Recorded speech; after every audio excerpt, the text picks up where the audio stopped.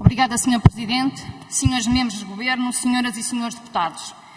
Este é um orçamento de combate e de reforço. De combate contra uma pandemia à escala mundial com um nível de exigência extremo no tratamento de doentes nunca experimentado. De reforço para a qualificação do acesso, para a valorização dos recursos humanos e para o investimento na rede do Serviço Nacional de Saúde. Senhoras e senhores deputados, ao contrário do que já ouvimos nesta Casa, este Governo não desistiu e o Grupo Parlamentar do Partido Socialista não desiste.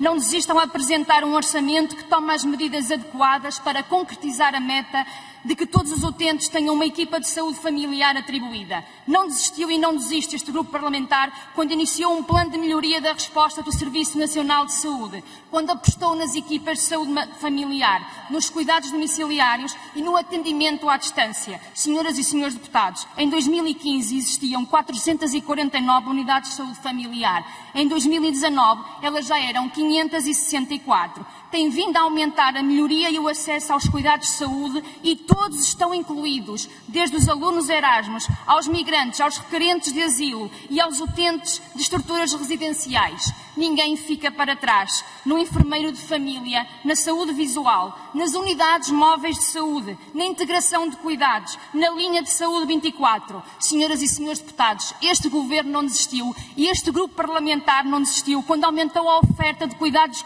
continuados e de cuidados paliativos quando aumenta continuamente a resposta em camas de cuidados intensivos e quando previu uma verba de 33,7 milhões de euros para a recuperação da atividade assistencial.